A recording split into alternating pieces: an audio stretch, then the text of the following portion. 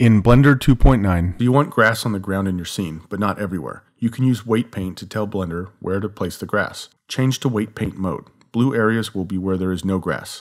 Paint the object where you want the grass to be. Red areas will be the most dense, yellow and green will be less dense. Adjust the weight, radius, and strength of your brush stroke here.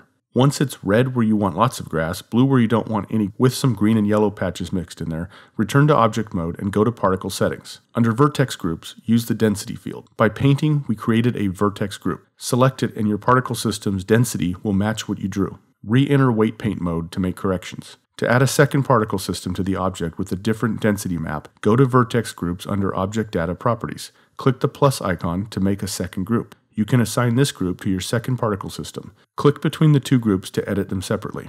I hope this one minute tutorial helped. Subscribe on YouTube to see more.